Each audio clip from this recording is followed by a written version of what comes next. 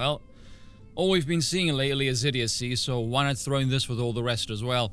So I was tagged in this last night, and my word. Carl Benjamin, I have decided to apologize to Jess Phillips for insulting her.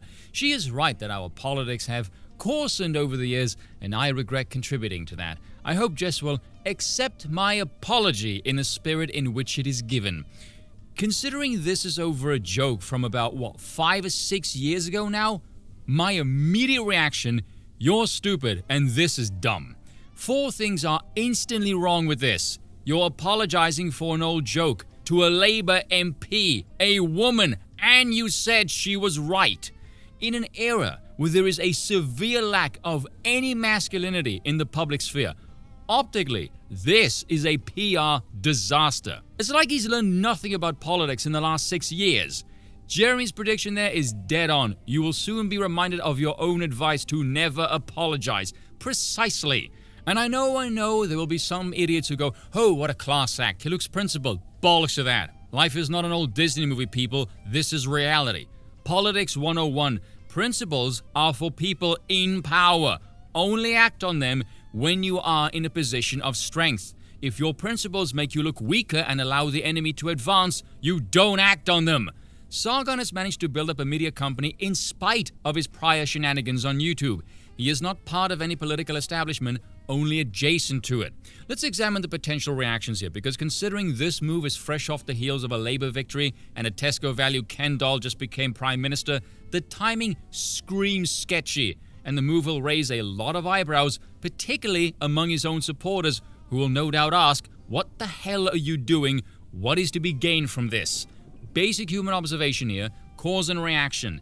In our timeline, there is extremely low trust in institutions even vaguely twinged with politics.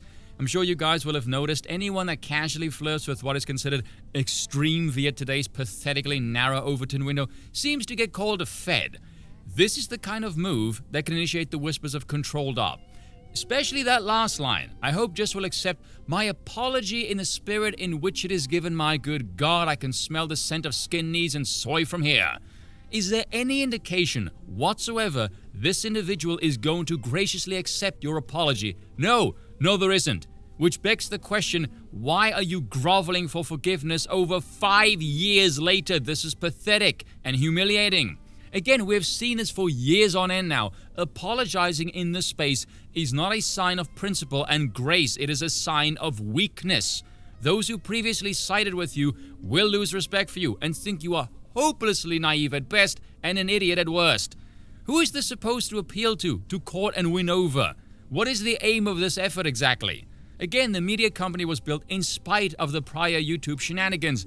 This comes across like a cleansing ritual designed to ingratiate yourself with the upper classes because either you, or someone in your company rather, has higher aspirations, perhaps of the political variety. Geez, I wonder who that could possibly be referring to. If this is to be some maneuver to ingratiate yourself with the players inside the regime, considering previous events that still has the lingering of a sour taste, hence the spectacle, and an army of the digital autists that is this generation who are now of voting age, wiser and more politically astute, I can't imagine they will see a potential play like this as anything more than containment. Cheers for watching, and once again, I apologize for nothing.